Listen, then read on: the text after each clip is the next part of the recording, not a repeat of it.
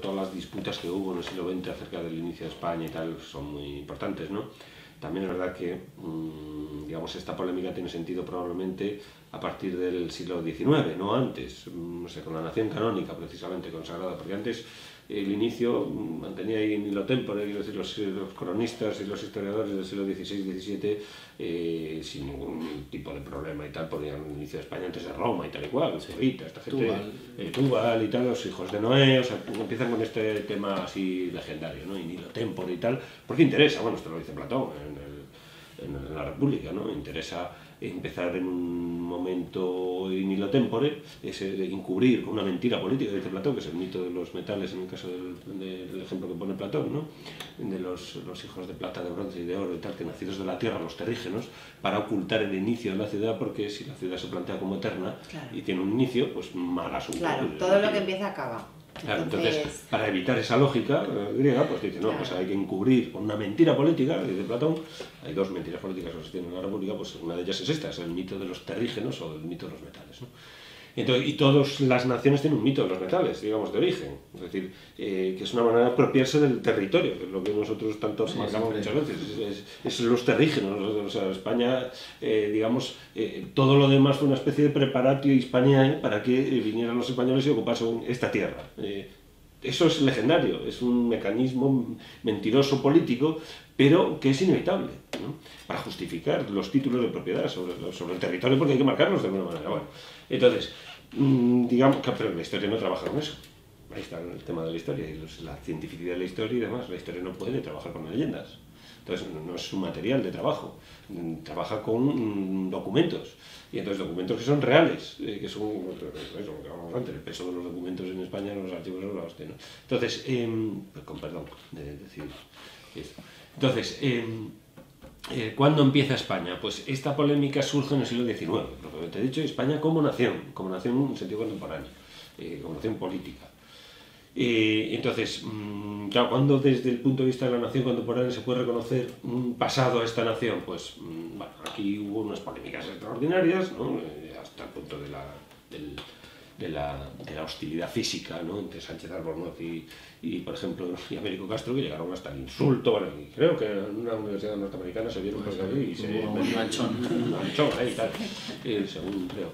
Bueno, total, que, que la tesis más o menos que nosotros barajamos eh, está más cerca de Castro en este aspecto, aunque después, eh, sin embargo, tiene mucho más, eh, desde el punto de vista del bagaje historiográfico, tiene más que ver con Sánchez Albornoz, pero sin embargo, la tesis propiamente dicho, más bien con Castro. España empezaría lo que podemos reconocer como España en la actualidad, es decir, seguiría, seguiría la actualidad española, seguiría siendo la que se podría reconocer en el siglo VIII, siglo VIII con, con, con, Pelayo y un montón de líneas, digamos, objetivas que se pueden reconocer ahí de continuidad con, con Don Pelayo, y no antes. Es decir, ¿por qué no antes? Bueno, pues ahí hay que explicar muchas cosas, claro, que es muy difícil de ver. Pero desde el punto de vista institucional, pues la España visigoda, visigoda es una continuidad de la España romana, de la Hispania, de la diócesis de Hispania, degenerada, pero es una continuidad total. Y sin embargo, lo que aparece después, hay una ruptura con respecto a eso. Eh, lo que aparece a partir del siglo VIII, frente al Islam, que, se, se, opone al Islam. Desde el punto de vista institucional también, la, es, la, lo que llamaron los románticos la España mora no es España, es, es, es al-Ándalus, que es otra cosa diferente también desde el punto de vista institucional, desde el punto de vista de, de sus estructuras, etcétera, etcétera. Entonces, España propiamente dicho, que muchas de las tradiciones, etcétera, etcétera, que hoy en día podemos reconocer como españolas en ese sentido, empezaría en el siglo VIII. Claro, de... sí. No, bueno, añadir que, que vamos a ver, que, que, que, los mitos han estado ahí y, se, y, van a seguir estando. Nosotros lo que sí, eh, más, más, que nos definimos casi como negadores, más que afirmadores en muchos casos, ¿no? lo que sí que se niega y negamos rotundamente es la eternidad de España. España no viene de la noche de los tiempos, ni va a durar eternamente. De hecho, si eso fuera así, pues no hay, que, no hay que preocuparse en absoluto por las amenazas. Una cosa que es eterna, pues a nosotros nos, nos resbala, ¿verdad? Claro. Entonces, eh, no enten... lo que pasa es que esto se contamina también por el hecho de que, volviendo un poco a la idea de imperio, imperio católico tiene una connotación geográfica de, de, de, totali, de intento de totalización, nos lo hemos dicho muchas veces, y luego lo que se entiende vulgarmente como católico vinculado a, la, a una forma de entender el cristianismo. ¿no?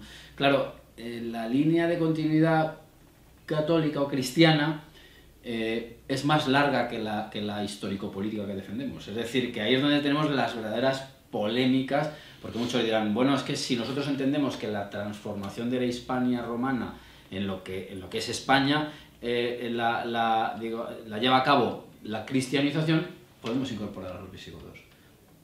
Y, y, y, en cierto modo esta interpretación claro, ¿eh? claro efectivamente y, y, podríamos entender pues que ha habido unos intrusos que han arrinconado en la cantábrica a los cristianos que, que tanto que tales ya son españoles creo que se me entiende y esto es una reacción ya pero lo que nosotros decimos es que eh, no, no, no, negamos que hay un, un empuje mm, poblacional hacia el norte pero sí lo que sí que es evidente es que hay una eh, transformación, no es una mera continuación, hay, un, hay una ruptura, incluso, bueno, hablaba incluso hasta del cambio de, eh, del nomenclator de los, de los, reyes, y la verificación de que estamos ante otra realidad es que no hay una restauración, no hay una restauración eh, de la España visigótica, sino que hay una expansión cuyos límites los, mar, los, los marca, lo que decíamos antes, casi las propias fuerzas eh, que vean vinculadas a la, la, potencia militar, económica, demográfica de, de, de, de la península. Entonces, claro, eso es la, lo que nos diferencia de otras, de otras, de otras ideas, otra, de otras historias de España, pues que, que, ya digo que todo va marcado por la cruz. Nosotros entendemos que la espada también tiene mucho que ver, incluso es la que salva la cruz, para decirlo claro, claramente. Claro. Sí, nosotros además es que hacemos una distinción entre las partes materiales y las partes formales en general, o sea, nuestra filosofía, se llama materialismo, entre otras cosas porque, porque entendemos que en este caso, bueno, en general, ¿no? Usamos las ideas de materia y forma eh, aplicadas a la explicación de los objetos, de las realidades, y un país también. Entonces, reconocemos partes materiales de la, de la Hispania romana, de la Hispania visigótica, por supuesto. Eh, es decir, textos, autores, edificios, monumentos, pero lo importante es la forma que se le da a eso y la novedad la introduce el Islam. Entonces, bueno, nosotros como no tenemos el prurito justamente de que, de que España sea eterna, ni de que sea la religión aquello que hacen hacer España, sino esa respuesta de esa sociedad que verdaderamente fue invadida, pero tú para responder a, esa, a esa invasión, pues eh, puedes quedarte como estabas, entonces hubieran podido eh, los árabes, o tienes que dar respuesta a esa invasión. Entonces, es en esa reconfiguración es cuando empieza España.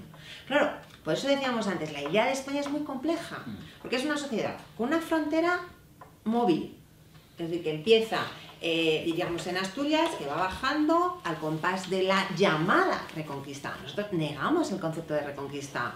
No puede ser una reconquista, porque como previamente no había España, si tú tienes que reconquistar, eso quiere decir que antes tú tenías la península para ti. No, no, no, no. Es que España no se reconquista. España está naciendo al compás que se responde a esa invasión. ¿Qué sucede? Que solamente pasados los siglos, tú puedes decir, eso empezó allí, pero hasta que no se termina, tú no puedes hacer acopio de todo lo que ha pasado. Por eso, el concepto de reconquista es, es peligroso, porque da idea de que España ya existía, cosa que no es cierta, y por otro, porque hace muy convencional, podríamos decirlo en los términos, pues diríamos, de, de, los sofistas, ¿no? O de, los que se atienen solamente a la ley, ¿no? Los leguleyos, los que dirían, bueno, pero nosotros necesitamos documentos, a ver, ¿y dónde pone tal? No, porque había muchos pactos entre los musulmanes y los cristianos, había muchas alianzas, ¿no? Eso de que España, eso de que la reconquista o eso de que España se está construyendo, eso lo dices tú, luego... Claro, después de pasar los siglos, claro que lo puedo decir yo.